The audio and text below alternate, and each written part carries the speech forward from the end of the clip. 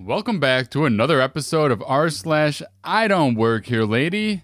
This first story is called My Little Moment in Hell. Let's try to get 1500 likes on this video, guys. I know we can do it. Now sit back, relax, and enjoy the show. I had reported to work on this particular Monday where I'm the site supervisor for an armed security account, only to discover that the blasted idiots that worked the night shift had not only left me with an empty coffee pot, a mortal sin, but had entirely cleaned me out of coffee, leaving me nothing but an empty container devoid of my much needed morning caffeine. Inconsiderate so and so's. Grumbling, I go off to the local market to buy some caffeinated goodness so as to keep my heart beating through my busy day.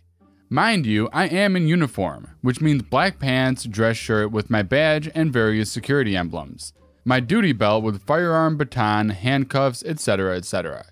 For the sake of those squeamish folk out there that go all white in the face when they see a firearm, I have also donned a windbreaker with security written across the back in 6 inch high day glow yellow letters. In other words, I looked nothing like any of the folk who worked at this market, whose uniform consisted entirely of a green apron. Now, mind you, I probably could have handled this better, but I was grumpy. It was a Monday morning without coffee after all. So I'm standing just inside the door of the market, reading the chalkboard where they have written their menu for the small cafe they run, when this entitled wench on her cell phone walks up to me and tries to hand me a slip of paper. Okay? I'm a bit confused but I take it and give it a look. But as soon as I do, entitled wench makes a little shooing motion and walks away and sits down at the bench by the door. Never says a word to me, doesn't even really look at me, barely acknowledges my existence, and just walks off. So I'm kinda annoyed, you might say. I look at this piece of paper, and it's a list of, you guessed it, groceries. Um, WTF. So I wander over and politely inquire as to what exactly this is and why she had seen fit to hand it to me. She says, My grocery list, of course. Fetch them for me. I'm in a hurry and can't be bothered. I'm on a very important phone call. And again with the shooing motion. Now, I've been going to this market for about five years, and I can assure you they don't fetch your groceries for you. So after some consideration, I very carefully rolled her list into a tight little ball, dropped it on her lap, and loudly growled at her to get off her lazy bum and do her own damn shopping. I turn around and walk off. I hear her screeching out something behind me, but I just ignore her and keep walking. Now at this point, I'm seriously thinking that entitled wench will take the hint, see the Dayglow letters on my jacket, and buy a clue. But oh no, Entitled Wench is just not that smart. She instead chases me down and starts yelling about how she's going to get me fired and I need to fetch her damn groceries right now. Trying to remain calm, I politely but forcefully tell her again, very clearly, I don't work here. Do your own damn shopping, lady. And I leave.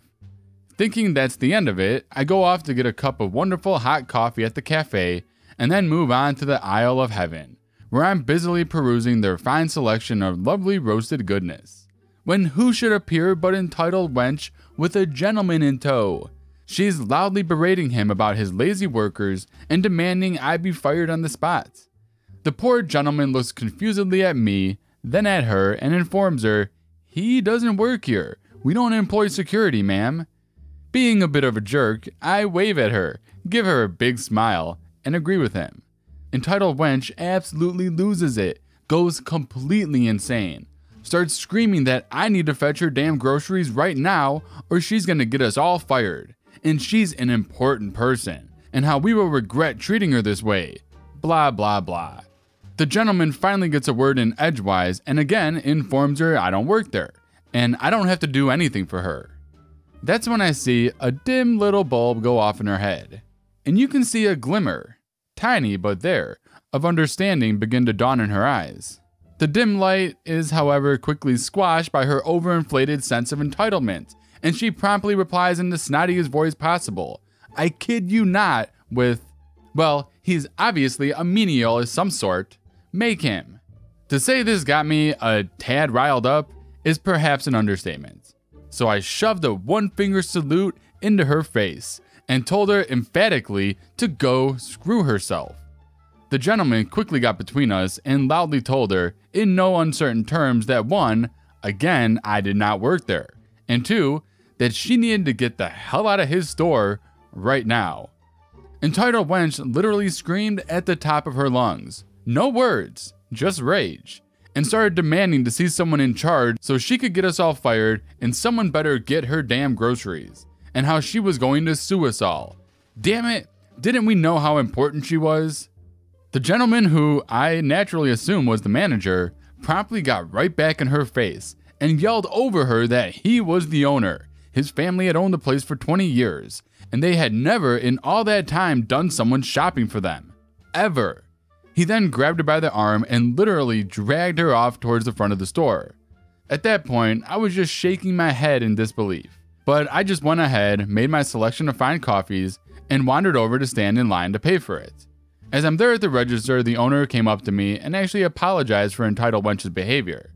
And we shared a WTF moment. Actually ended up just laughing at how stupid entitled wench was. Or crazy, either way. He even tried to let me have the coffee for free. But I thanked him and told him it wasn't his fault that entitled wench was a nut, and I was fine with paying for it. Now, you would think that that was the end of it. I mean, it was crazy. But weird stuff happens, people are idiots, whatever. But oh no, dear readers, it would appear that we had both underestimated the depths of Entitled Wench's craziness, because as we walked through the door to the outside world, who, to our astonishment, was there waiting for us? Entitled Wench, it turns out, had actually called the police on us, and the dumb lady was out there screaming at the officer, demanding that we be arrested for not serving her and how she wants us both fired and she was going to sue and that someone had better get her her damn groceries right now, damn it. My jaw dropped. I don't mind saying it, and I was completely shocked. I honestly started laughing at that point. This lady was certifiably nuts. Because of my job, we happened to work closely with the local PD, so I actually recognized the officer that had responded to the call and gave Officer Betsy a wave when she looked at me. She gave me a grin and walked over, asking me about exactly what the hell was going on. We both gave our side of the story, and the owner asked that she be removed from the property, please, as she was at this point causing a scene. Betsy just rolled her eyes, walked over, and told entitled wench that she needed to leave right now, immediately, or she would be charged with trespassing. Now, you ever have that moment when you can just see something bad start to happen, but your mind just can't quite believe it's actually occurring? Well, I saw it start, clear as day, as entitled wench reared back and started to go off again. And yup, there it was. She actually jammed her finger into Officer Betsy's sternum. Not once, but twice. Might have been a third time. But Officer Betsy had at that point picked her up, flipped her over, and dropped entitled wench on her head, landed on top of her, had her handcuffed in record time, got back up, opened her door, slid entitled wench into the back of her patrol car, and slammed the door on her. And we all just stood there shaking our heads in total disbelief as entitled wench started to scream and thrash about and kick at the windows of the squad car. She was still doing it as Officer Betsy drove off to the station, too. I saw Officer Betsy later on that day, and she told me that entitled wench was still throwing a fit when they got to the station and fought the officers there like hell, until they ended up stuffing her into a control chair. She was later transported to the hospital for a psych evaluation. No idea what happened to her after that. This next story is called Lady Just Wastes Her Own Time. Thinks She Won. I work as a point of sale technician. My job is essentially driving around with a truck full of touchscreens and receipt printers, doing service calls at grocery stores, restaurants, cafe, retail stores. Servicing pretty much any company that doesn't have its own dedicated tech team. Many times each day, I'm confused for staff. And it's completely understandable since I'm usually behind the counter somewhere and messing around with the computer. I do what I can to avoid customer contact, dressed in all black, no name tag, carrying tools with me, avoid eye contact, and get in and out as quickly as possible. This works most of the time, but otherwise, I have no problem explicitly telling people, hey, sorry, I don't actually work here, but they can help you on the other till. My job is literally r slash I don't work here lady, the movie. Anyways, so today I had a call at a grocery store because one of the till's serial ports stopped working. So basically, I have to crack open the computer case, replace the messed up PCI card, plug everything back in, install drivers, and then reinstall all the hardware to their new ports within the POS software. The story begins with me just at the point where I've unplugged everything and had the computer pulled out from its compartment when I pop up from under the counter to see some lady unloading a cart onto the conveyor belt. She's on her phone. I give her a little wave and say, Oh, hey, this lane is actually closed. Sorry for the inconvenience. But she continues unloading her cart. I point at the register closed little pyramid thing that's sitting on the conveyor directly in front of her slowly growing pile of groceries. She gives me a little hand wave shoe gesture and rolls her eyes but continues unloading. All bets are off. I make a show of slamming the computer down in front of her. I unscrew the case, pop it open, remove the messed up PCI card. She's done unloading the cart and looking antsy and watching me. By the time I have the stuff plugged back in and the computer turned on, she's off the phone. She says, What's taking so long? I told you this lane was closed. You should try the other lane. I already unloaded my carts. I'm not waiting in line again. As if she's waiting in line to begin with. Well, this till is going to take about 45 more minutes. You're welcome to wait it out. This is ridiculous. Where's your manager? In his office in Major City where we're based. I don't work here. I'm fixing the computer. It's going to take a while. She stands around for a good 10 minutes while I'm installing drivers until the manager walks by and she flags him down.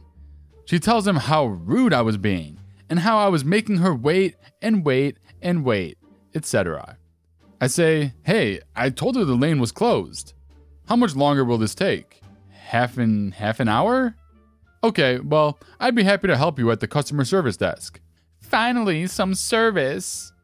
She loads her card up again and walks over to the customer service desk with a smug ass grin on her face. Like, lady, you didn't win anything. There were open registers the whole time. You literally wasted your own time arguing with me, then did the exact thing you were complaining about, having to move registers, while feeling proud of yourself. Alright guys, that brings us to the end of today's video. I hope you guys enjoyed both of these stories today. Leave me a comment below and let me know which story was your favorite. And as always, hit that like button and subscribe if you haven't done so already. And I'll see you guys in the next video.